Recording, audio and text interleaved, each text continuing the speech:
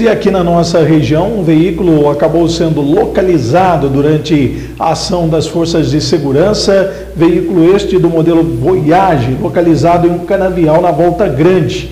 Na verdade, seguranças né, de uma usina localizaram um veículo no meio do canavial, próximo à cidade de Miguelópolis. A polícia militar foi acionada, fez contato com a vítima, que inclusive acompanhou até onde estava o veículo.